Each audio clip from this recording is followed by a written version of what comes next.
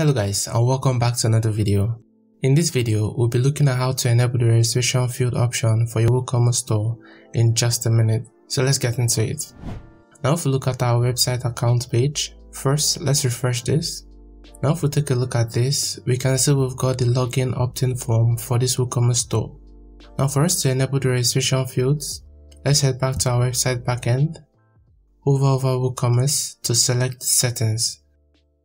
Now from here, we want to click on account and privacy and we should see the account creation option. All we have to do is check this box with the option to allow customers create an account on my account page.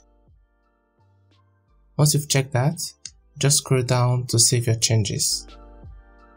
Now, if we head back to our website front end and refresh this, we can see we've got the registration field showing up here. So with this, your customers can be able to register on your website at any time instead of being limited to the login opt-in form which can cause serious confusion on your website if they are presented with just the login field. And that's it for this video. If you have any questions, feel free to leave them in the comments down below and I'll be sure to leave you with a reply. Make sure to hit that like button if you got value from this video.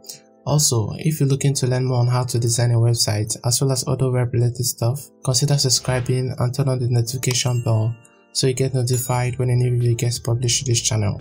Thank you so much for watching and I will see you in the next one.